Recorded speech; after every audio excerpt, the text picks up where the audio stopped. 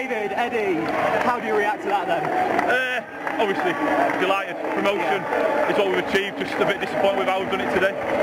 It was sort of ironic, wasn't it, the way you have done it in the end after such a long unbeaten run?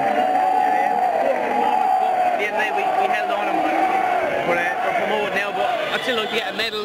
Do it the hard way now, but we'll look to next week now. Is that the, the next aim then to go on there next week and can you go in there with a little bit of pressure off, I guess? Uh, yeah, yeah, I think I think now we've got the unbeaten run kind of off our back. I don't think it was a, a problem, but we never set out at the start of the season to have a run like that. And like I said, promotion was the aim, and that's what we've achieved. And a word for the fans as well, because loads of them made a really long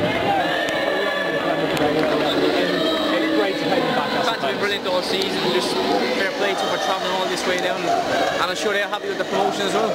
Thanks for your time, lads. Cheers, guys.